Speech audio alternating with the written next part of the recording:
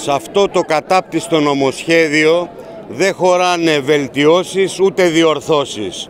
Η μόνη λύση είναι να αποσυρθεί εδώ και τώρα αυτό το αντιδραστικό τερατούργημα.